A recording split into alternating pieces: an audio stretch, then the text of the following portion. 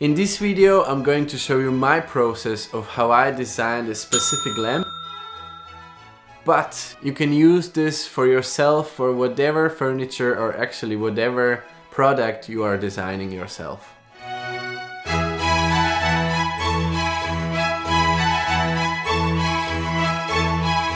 Hi and welcome. If you're new here, my name is Simon and on this channel I like to design and build furnitures and many other things. As you maybe know from my last videos, I'm trying to start a company called Hrivnak Furniture and uh, this video, this week, I'm going to design a lamp that is then later gonna be sold in the company on the platform of uh, Hrivnak Furniture. So in this video, I'm actually gonna walk you through my process of designing and then in next video, I'm gonna build it. So why have I decided to build this lamp? In last two years I've been building and slowly selling tables that I've created together with my father.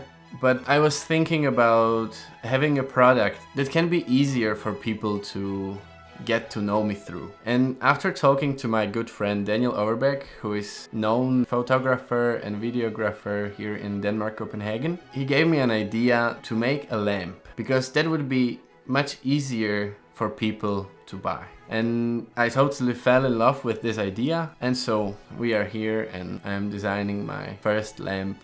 Scandinavian design and all the furnitures they are so beautiful and I've been constantly fascinated about the beauty and about the how simple they are. And I've been trying to use that design in my design. And so how I start and actually how I design furniture is that First, I will go to Pinterest and I will search for things that I like and I will try to save them. My second thing what I did was going to YouTube and searching for trends for year 2021 within the interior design. And uh, what I discovered is that the shape of arch is gonna be pretty cool in the year 2021. So I kind of took that into my head and I started to think about what do I want to include in my design of a lamp. Once I had those kind of uh, guidelines, I just took a paper and I started to sketch my first ideas.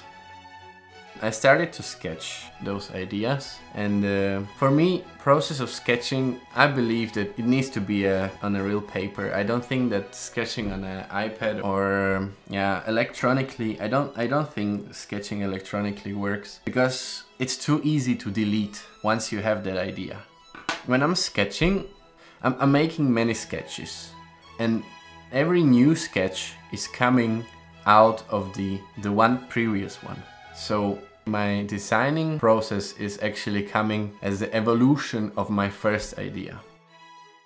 So why I'm using SketchUp? SketchUp allows me to put exact measurements into the program. So once I'm modeling my design, I can actually measure it within the program and then in a real life when I'm building the, the piece of furniture, I can measure it and I can see the measurements in the program and then I can actually build my product much faster. But also it gives me a very good idea of what and how is my final product gonna look like. And that is definitely much better than just sketching up on a paper because on a paper it's not that accurate. But in the program you can see exactly how it's gonna look like. And that really gives me such a such a good overview and yeah a big advantage.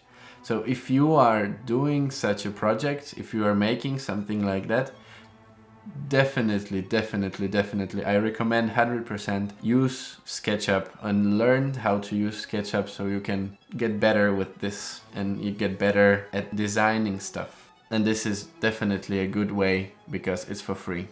It costs your time only. I don't want to make it any longer. So thank you very much for watching this video. I enjoyed this process. I hope you enjoyed watching. Now you know how I designed it so you can also design your own furniture. If you like what I do, like and comment and subscribe and do whatever you need to actually keep updated about what I do. And if you can let me know if you have a good idea what color would you paint the leg of the lamp, please let me know so I can get inspired. And uh, yeah, please check out the Instagram and Facebook page of uh, Furniture. There you can follow up on what I do together with my father. And uh, yeah, in next video I'm going to build this lamp, so definitely stay tuned and see you in the next one. And I would like to say big thanks to Daniel Overbeck that gave me this idea of making a lamp. Bro, thank you.